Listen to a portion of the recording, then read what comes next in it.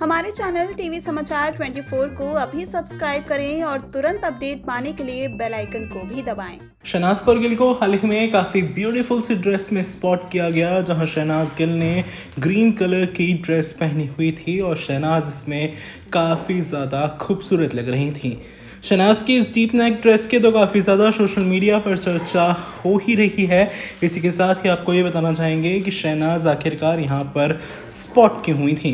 दरअसल शहनाज कौर गिल को यहाँ पर स्पॉट किया गया था एक ब्रांड एंडोर्समेंट के शूट के लिए। और ये कोई छोटा मोटा ब्रांड एंडोसमेंट नहीं, बल्कि बहुत बड़ा ब्रांड एंडोर्समेंट है, जैसी कि खबरें आ रही हैं। शनाज कौरगिल का ये प्रोजेक्ट जब आएगा, इसकी डिटेल्स बाकी तब सामने आएँगी, लेकिन पता लग चुका है कि एक बहुत बड़ा ब्रांड है। ये एक बिग एंडोर्समेंट है।